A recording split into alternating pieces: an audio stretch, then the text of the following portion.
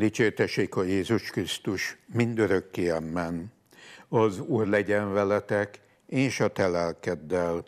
Evangélium Szent Máté könyvéből. Dicsőség neked, Istenünk! Abban az időben Jézus ezt mondta apostolainak, ne féljetek azoktól, akik megölik a testet, de a lelket nem tudják megölni. Inkább attól féljetek, aki a lelket is, a testet is a pokolba taszíthatja. Egy fillérért ugye két verebet adnak, és mégsem hull a földre egy sem közülük atyátok tudta nélkül. Nektek pedig minden szálhajatokat számon tartják. Ne féljetek hát, sokkal többet értek ti a verebeknél.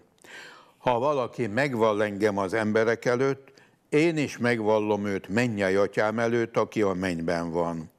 De ha valaki megtagad engem az emberek előtt, én is megtagadom őt atyám előtt, aki a mennyekben van. Ezek az evangélium igéi. Áldunk téged, Krisztus. Kedves testvérek, az Úr Jézus szavai világos és egyértelmű választ adnak arra az egykor bőszen terjesztett ideológiai állításra, a vallás magánügy. Éppen ezért nem lehettek nyilvános vallásos ünnepek és megnyilvánulások. Az Úr Jézus viszont ezt állítja, aki megval engem az emberek előtt. Szinte az üdvösség feltételeként szól arról, hogy kijuthat Isten szín elé. Azt ugyan nem részletezi, hogy miként kell megvallani Krisztust mások előtt. A szövegkörnyezet pedig elsősorban a vértanúságot juttatja eszünkbe. A földi élettől való megfosztást, a gyilkos fenyegetéssel való szembefordulást, és ennek szenvedéseit vállalva a hitért, Isten ezt örök élettel jutalmazza. A hit megvallásának ilyen veszélyeit ismét előtérbe hozza a mai világ, hiszen a keresztény élet üldözése számtalan országban véres valóság. De mennyiben közügy Krisztus megvallása vetődik föl bennünk a kérdés. Elsősorban arra kell gondolnunk, amit Szent Pál így fogalmaz meg.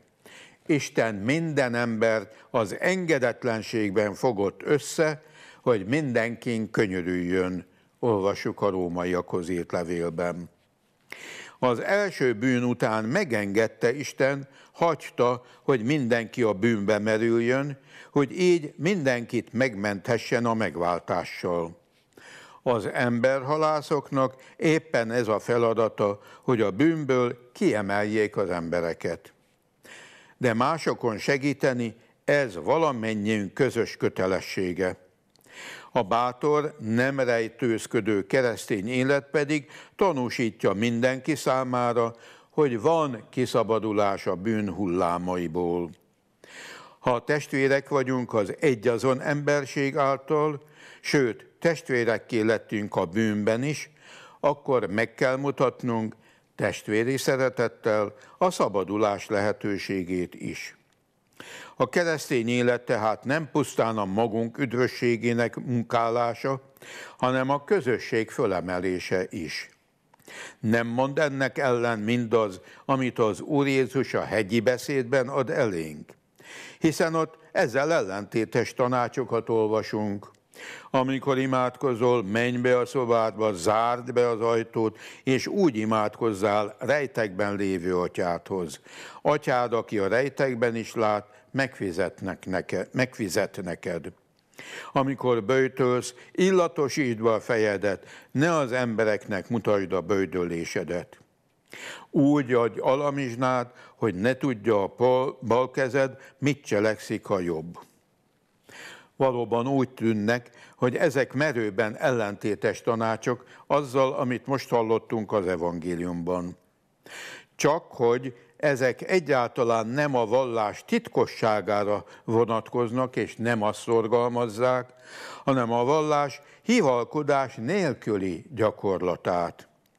Ne akarjunk a vallásosságunk, vallásosságunkkal másoknál különbeknek tűnni. A hit megvallásának olázattal kell párosulnia, hogy szerénysége miatt valóban vonzó legyen. Ne tüntetően legyünk vallásosok, hanem a mindennapi élet egyszerű gyakorlatában. És ebből az is következik, ne keressük az életveszélyt, de nem is szabad megfutamodnunk előle. Amen.